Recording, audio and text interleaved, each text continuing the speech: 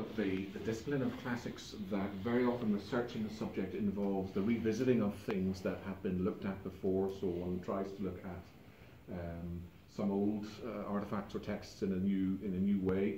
But now and again, um, research of a much more original nature is possible when uh, a researcher begins to look at something that hasn't really been um, uh, very well explored. And I think that really characterises the work of my colleague uh, Laura Pfuntner, um, who has, think, characteristic ambition, chosen to look at uh, an area of the central uh, ancient Mediterranean world that really isn't much uh, isn't much studied, and it requires considerable skills to to carry out this research. And in fact, Laura has, one would expect, in fact, has these skills. She's a a great linguist. She's uh, an expert in archaeology as well as being an historian. So she's very well placed to, uh, to come to uh, speak to us. I, I, keep having to apologise to Laura, who came from UCLA to be here.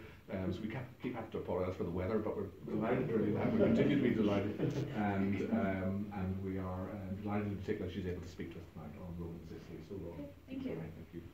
Um, and thank you all for coming out tonight. Um, so this evening, um, I'm going to take you away from the cold and gloom of a Belfast winter to a warmer and sunnier place, and that is Sicily. Uh, my focus will be, if I can get this to work, um,